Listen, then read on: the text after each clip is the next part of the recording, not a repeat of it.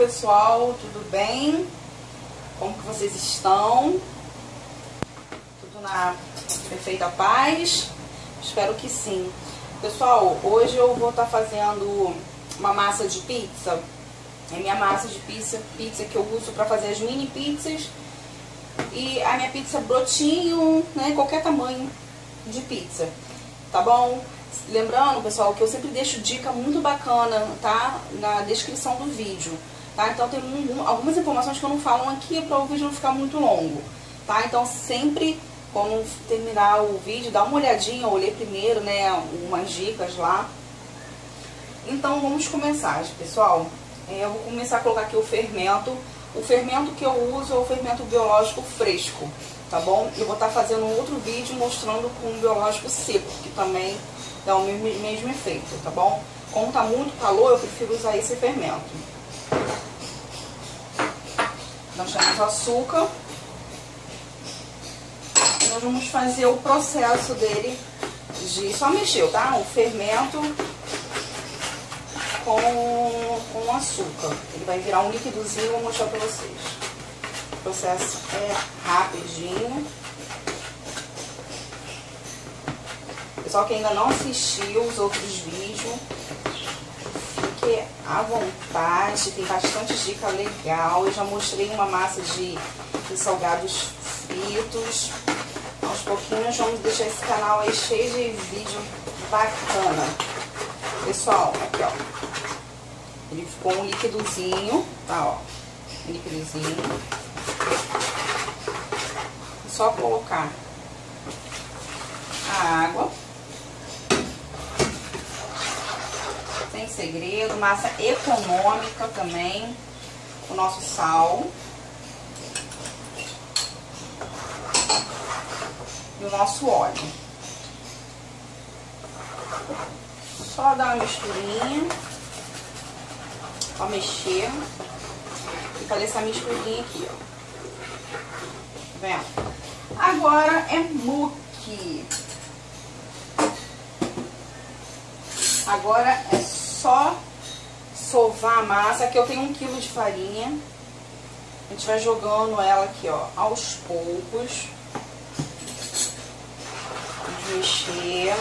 Joga um pouquinho, não joga a farinha toda de uma vez, tá? Que é pra não deixar a massa pesada. Você pode colocar farinha demais. Mais farinha. E o segredo é esse aqui, vai colocando. No início parece que vai ficar todo melecado, né? Mas não vai não. A massa vai ficar bem, bem soltinha. Aí fiz esse processo, agora eu vou colocar um pouco mais.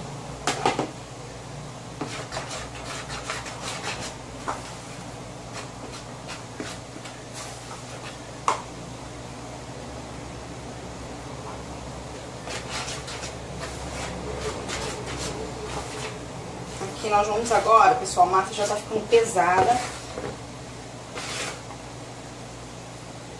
Nós vamos sovar ela agora. E sempre jogando farinha quando for preciso, tá? Ó, tá bem grudenta.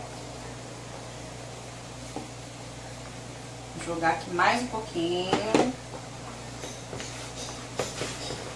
Depois que ela estiver não tão grudenta, a gente coloca ela pra bancada. Pra mim é porque ela já tá no ponto e ela tá assim, ó.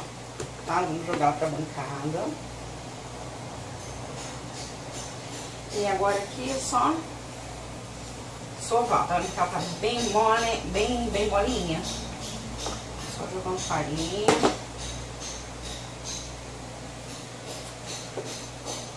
Ela vai soltar, tá bom?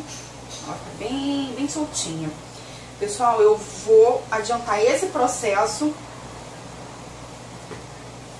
e já volto.